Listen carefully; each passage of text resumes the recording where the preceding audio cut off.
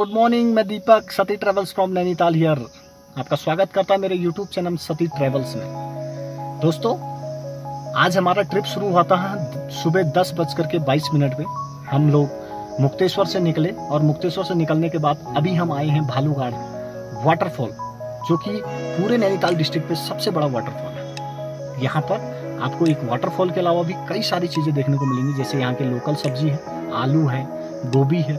और आपको फ्रूट्स यहाँ पे बहुत सारे देखने को मिल जाएँगे। पुलम, बेर, काफल, हिसालू, खिलमोड़ा। इसलिए बने रहिए हमारे साथ, देखते रहिए सटी ट्रेवल्स को लाइक कीजिए फॉलो कीजिए सब्सक्राइब ज़रूर कीजिए।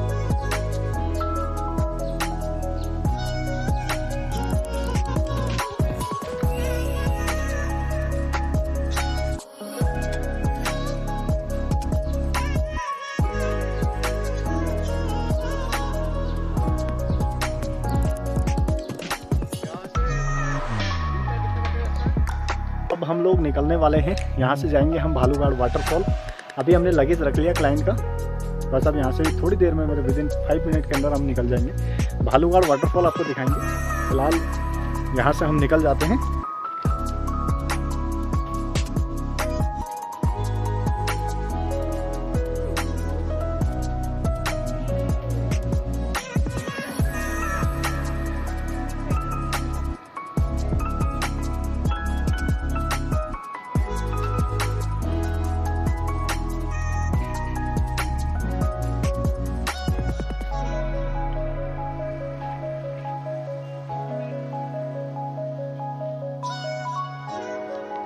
होने वाली है आलू की पैकिंग और मैं ले रहा हूँ पाँच किलो आलू, जो कि मुक्तेश्वर का पहाड़ी आलू है।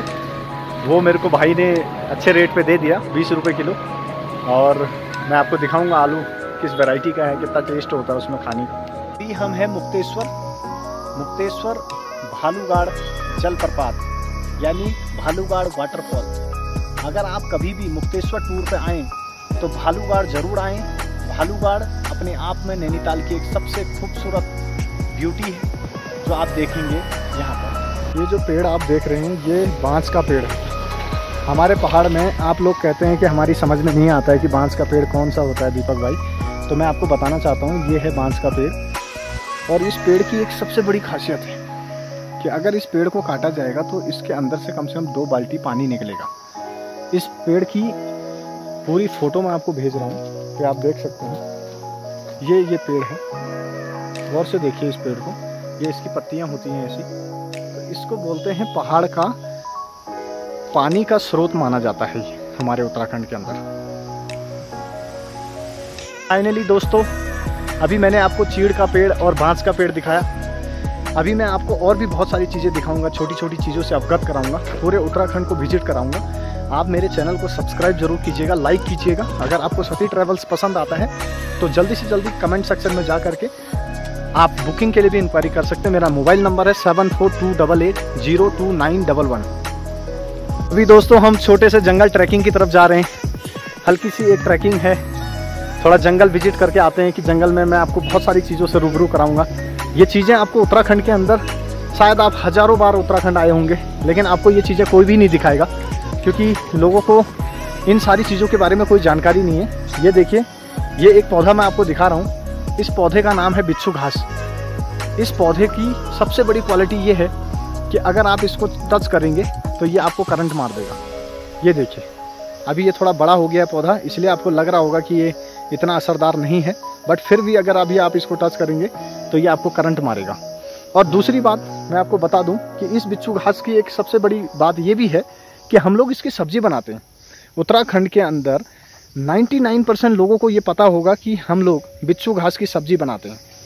अब सब्ज़ी कैसे बनाते हैं वो रेसिपी में भी मैं आपको बता दूँगा। बाकी फ़िलहाल मैंने आपको ये बिच्छू घास दिखा दी है, जिसको देख करके अक्सर लोग डर जाते हैं, घबरा जाते हैं। बचपन में जब छोटे बच्चे शैतानी करते हैं तो उस टाइम मम्मी उनको सबक सिखाने के लिए दंड के रूप में इसका प्रयोग किया जाता है। देखिए, हम आ चुके हैं किलमोड़ा, जिसकी मैं बात बता रहा था, किलमोड़ा के फ्रूट की। इसको बोलते हैं किलमोड़ा। ये जो किलमोड़ा होता है, ये पहाड़ी हिमालयन एरिया के तीन हज़ार मीटर की ऊंचाई पे पाए जाने वाला एक बहुत खूबसूरत और शानदार फल है, जिसको खाया जाता है। शायद आपने ये कभी खाया नहीं होगा, लेकिन ज़रूर मैं विश्वास दिलाता हूँ आपको दोस्तों, अगर आप मेरे साथ आते हैं ट्रैवलिंग करते हैं तो ज़रूर मैं आपको ये सारी चीज़ें से अवगत कराऊँगा, ये सारी चीज़ों का टेस्ट करवाऊँगा, ये फ्री ऑफ़ कॉस्ट है। इसका कोई चार्जेस नहीं है। इसको बोलते हैं किलमोड़ा। ये किलमोड़ा हिमालयन एरियाज़ के लगभग ये मान के चलिए कि 3000 मीटर की ऊंचाई पर, समुद्र तल से। उन जगहों पर ये आपको ज़्यादा मात्रा में मिलेगा। जैसे आप यहाँ पर देख सकते हैं, ये किलमोड़ा हो रखा है और इस किलमोड़े को हम लोग खाएँगे। अभी आप देख सकते हैं, ये है किलमोड़ा, मैंने हाथ में तोड़ के रख दिया है। इस किलमोड़े को अभी हम खाएँगे। दोस्तों, ये है किलमोड़ा और अभी हम इसको टेस्ट करते हैं कैसा होता है।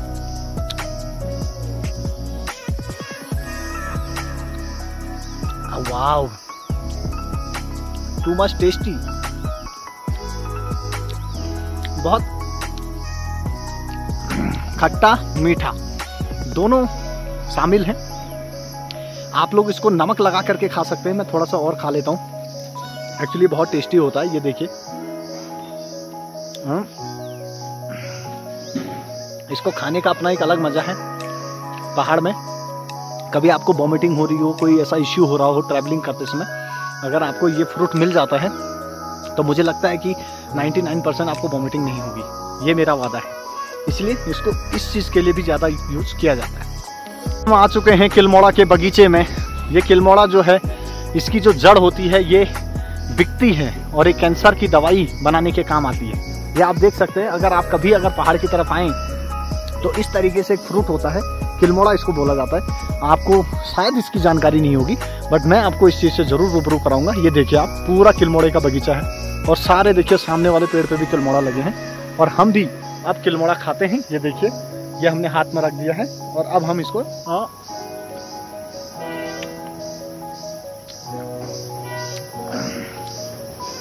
टू मच टेस्टी ये फ्रूट जैसा कोई फ्रूट ही नहीं है। कांफल हिसालू किलमोड़ा फ्री ऑफ़ कॉस्ट उत्तराखंड में। आए सती ट्रेवल्स को फॉलो ज़रूर कीजिएगा सब्सक्राइब कीजिएगा और कमेंट सेक्शन में जाकर के कमेंट ज़रूर कीजिएगा। कैसा लगा आपको हमारा वीडियो धीरे धीरे अपनी गाड़ी की तरफ़ को बढ़ रहे हैं, क्योंकि मैं थोड़ा सा जंगल ट्रैकिंग में आया था। मैं आपको दिखाने के लिए स्पेशली यहाँ पर आया था कि यहाँ पर क्या क्या चीज़ें आपको पहाड़ में मिल सकती हैं। जैसे कि मैंने आपको दिखाया कि किलमोड़ा भी आपको मिल सकता है। अगर आप अच्छे से विज़िट करें, अच्छे से घूमें, अगर कोई अच्छा आपको घुमाने वाला हो तो आप बेस्ट तरीके से पूरे उत्तराखंड को एक्सप्लोर कर सकते हैं। ज़्यादातर लोगों को मैंने देखा है कि वो उत्तराखंड दस बार या पंद्रह बार आ चुके हैं, लेकिन उनके पास कोई जानकारी नहीं है। उनको कोई ऐसा गाइड नहीं मिलता है या कोई ऐसा कैब सर्विस वाला नहीं मिलता है जो उनको अच्छे तरीके से मोटिवेट कर सके गाइड कर सके। एक्सप्लोर कराने के लिए पहले खुद एक्सप्लोर करना बहुत ज़रूरी होता है दोस्तों। इसलिए जब भी कभी आप आएँ तो हो सकता है मेरी वीडियो आपके आपके पास तक पहुँच जाए तो आप इन चीज़ों का फ़ायदा उठा सकते हैं। लास्ट हम्म? में, एक बार और कहूँगा आपसे, आप जब भी आए, आप कमेंट में ज़रूर बताएँ मुझे। या फिर मेरे फ़ोन नंबर मेरा कॉन्टैक्ट नंबर पर कॉन्टैक्ट कीजिएगा। मैं आपको हर चीज़ से रूबरू कराऊँगा। आज का जो जंगल ट्रैक था, वो फ़िलहाल हमारा कंप्लीट हो चुका है। अब हम लोग यहाँ से निकलेंगे डायरेक्ट काठ गोदाम हल्द्वानी की तरफ़, क्योंकि मेरे क्लाइंट की ट्रेन है शाम को आठ बजे की। इसलिए क्या है कि हमें थोड़ा सा जाम की कंडीशन को देखते हुए हमें थोड़ा सा पहले से निकलना होगा। जैसे हमारे पास अगर दो घंटे का टाइम है, अगर दो घंटे हमें जाने में लगते हैं तो मुझे लगता है कि हमें तीन घंटा, एक घंटा बैकअप बना के हमें चलना पड़ेगा, तभी जा करके हम अपनी डेस्टिनेशन तक पहुँच पाएँगे। कैसा लगा आपको मेरा ये चैनल क्या मैं वीडियो बना रहा हूँ? अच्छी है, बुरी है? आपको पसंद आ रही है, नहीं आ रही है? ज़रूर आप कमेंट सेक्शन में जा करके मुझे कमेंट करके बता सकते हैं। बाकी जितनी कोशिश हो सकेगी, सती ट्रेवल्स आपके साथ हमेशा रहेगा। दीपक, आपकी सेवा में हमेशा तत्पर रहेगा। जय हिंद, जय भारत, जय उत्तराखंड।